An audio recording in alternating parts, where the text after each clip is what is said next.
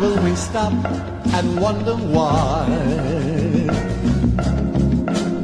We forever look with scornful eye on all those things both dear and good, like love, friendship, and brotherhood.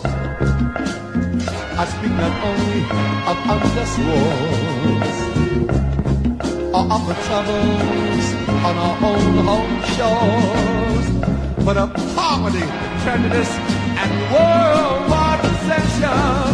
For these demands our undivided attention.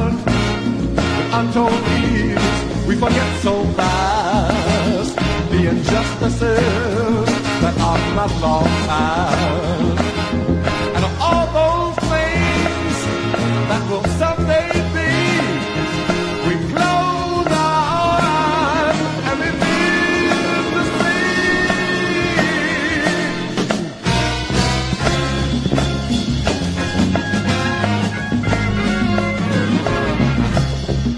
Do not think we will ever be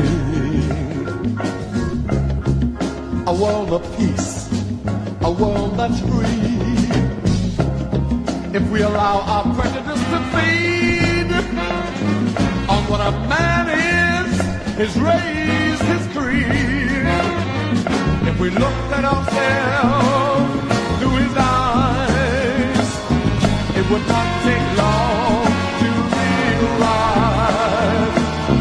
that a man is a man, not a color or a face, but part of this thing called the human race.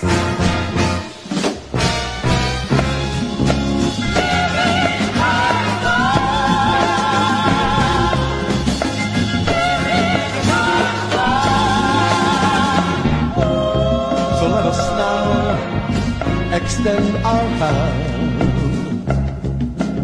lend our ears and understand. For when we do, and I know